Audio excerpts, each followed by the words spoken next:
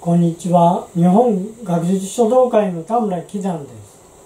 今日も単行者の茶書の前後辞典から前後を選び、その解説文を読んでから後でその前後を半紙に筆で書いています。今日の前後は、夢のごとくに相似たりです。夢でも見ているかのようだ。何千不願の時の人この一株の花を見ること夢のごとくに相似たりという言葉に基づいた語です意味は今時の人は花の真実の姿を見て取れる自己を確立していないからせっかくこの花を見ても夢の中の花のようにしか見ることができないという意味です。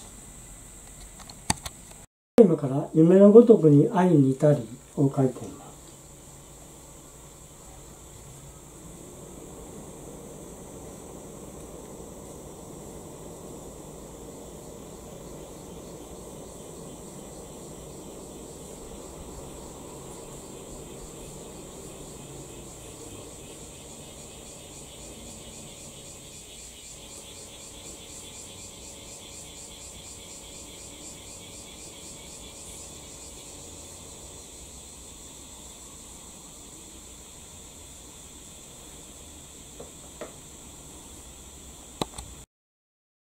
最後までご覧いただきありがとうございました。